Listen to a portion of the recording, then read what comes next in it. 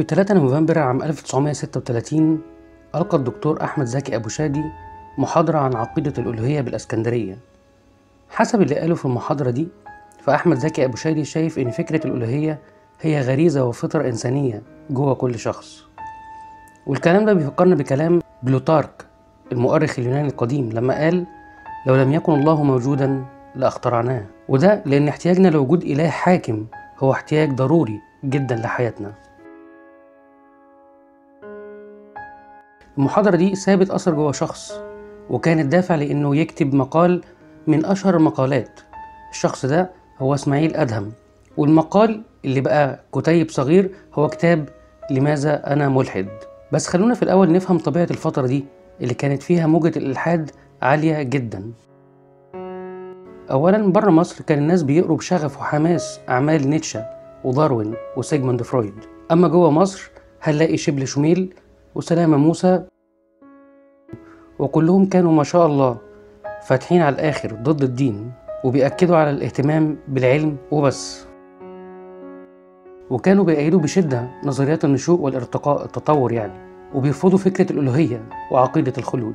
كان العالم كله في حيص بيص بعد الحرب العالمية الأولى والناس ضايعة وشافوا بعينيهم ضياع القيمة والمعنى واختفى اليقين تحت وطأة الآلة الحربية العملاقة اللي ضيعت أرواح عشرة مليون إنسان. اتولد إسماعيل أدهم عام 1911 في الإسكندرية لأب مسلم متعصب جدا للإسلام وأم مسيحية بروتستانتية من أصل ألماني ماتت بعد ما والدته بسنتين. بيفتتح أدهم كتابه لماذا أنا ملحد؟ اللي اتنشر في أغسطس 1937 بأبيات شعر للشاعر جميل صدق الزهاوي بيقول فيها لما جهلت من الطبيعة أمرها وأقمت نفسك في مقام معللي أثبتت ربا تبتغي حلا به للمشكلات فكان أكبر مشكلي.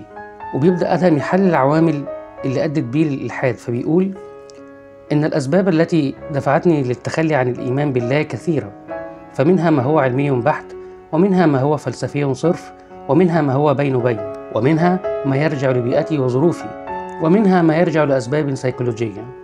ببساطة وسلاسة بيحلل أدهم عالم الرياضيات موقفه بلا تعصب أو تشنج وبيفكك فكره ورؤيته للعالم.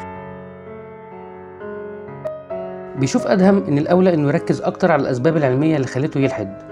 لكن أنا شايف إن العوامل البيئية المرتبطة بظروف نشأة أدهم أهم لأن الأسباب العلمية اللي بنى عليها إلحاده تجاوزها العلم دلوقتي وبقت أشبه بأحافير تاريخية قديمة في حين إن العوامل والظروف التربوية اللي عاشها لسه لحد دلوقتي بنعاني منها في زماننا فخلونا نركز عليها في الحلقة الأولى النهاردة. كانت طفولة أدهم متقسمة بمعسكرين متضادين. كل معسكر بيجذبه ناحيته باللين وبالقوة وده كان بداية الصراع في حياته.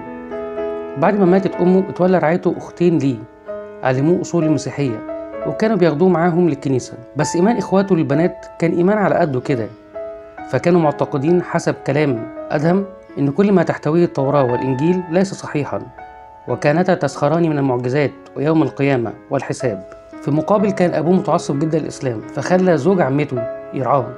زوج عمة أدهم كان بيخليه يصلي الجمعة والتراويح ويحفظه القرآن. فبيعلق أدهم على الفترة دي من طفولته وبيقول وكان هذا كله يسقي الكاهلي كطفل لم يشتد عضوه بعد. حفظ أدهم القرآن فعلا وجوده. لكن بيعقب على ده وبيقول غير أني خرجت ساخطا على القرآن لأنه كلفني جهدا كبيرا. كنت في حاجة إلى صرفي إلى ما هو أحب إلى نفسي منه وكان ذلك من أسباب التمهيد لثورة النفسية على الإسلام وتعاليمه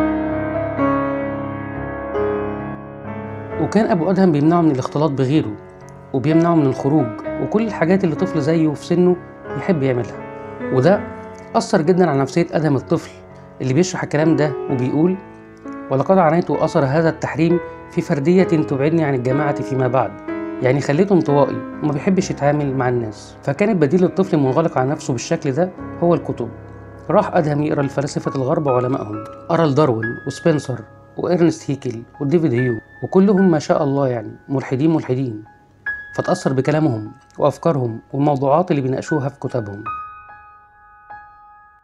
وبدأ يتعلم الألمانية والتركية والعربية ووقع في حب الرياضيات فدرسها وقرأ فيها وما كانش راضي عن الرياضيات الكلاسيكية وبدأت نفسية أدهم الجديدة تاخد منحنى جديد تماما.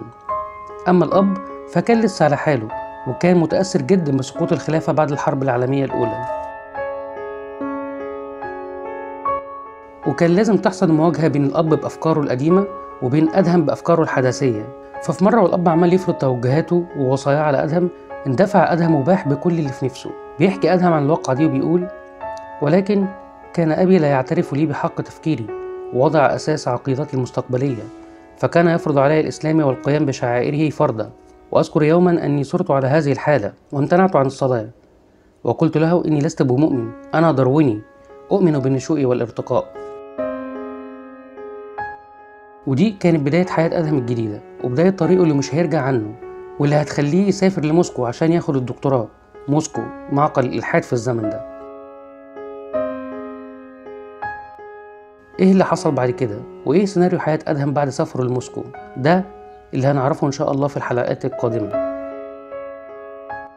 لو عجبك الفيديو اعمل like و subscribe وسيب لنا تعليق يفيدنا. وأشوفكم على خير.